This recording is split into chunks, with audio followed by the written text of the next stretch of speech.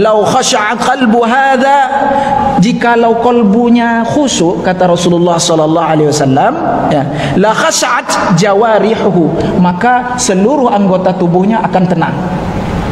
Nah, itu yang khusyuk betul-betul dari hati Bapak Ibu. Yang betul-betul zahir dari hati. Akan tampak dari anggota tubuhnya itu jawarehnya itu menjadi tenang.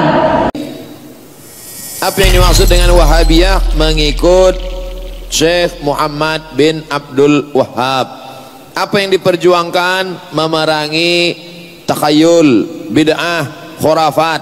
Maka selalu mengatakan ini bid'ah ini bid'ah ini bid'ah ini bid'ah. Oleh sebab itu tapi yang tidak digemari adalah hanya berpegang kepada satu kaul saja.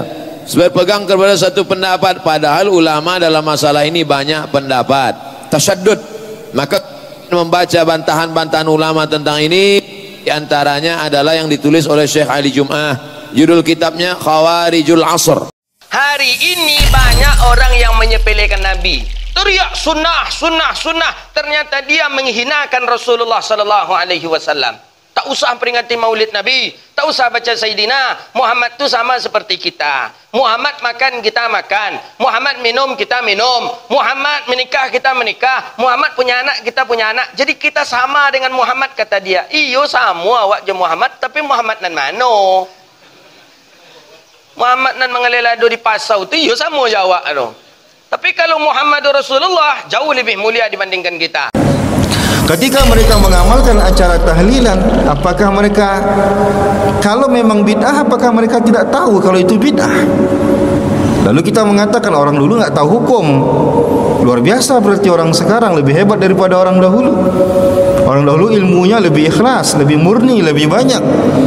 Nah, orang dahulu lebih mengerti tentang maka kita jangan mudah terpengaruh ikuti kajian ahlu sunnah dengan akidah ahlu sunnah.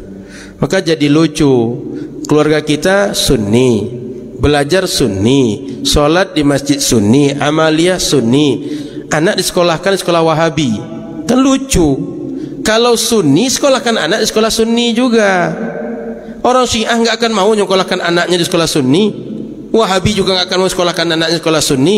Masa kita sengaja nyekolahkan anak di sekolah sunni hari ini narasi-narasi radikalisme narasi terorisme narasi seperti ini sering dimanfaatkan untuk menyerang Islam sering dimanfaatkan untuk menghina Islam sering digunakan untuk mencaci Islam.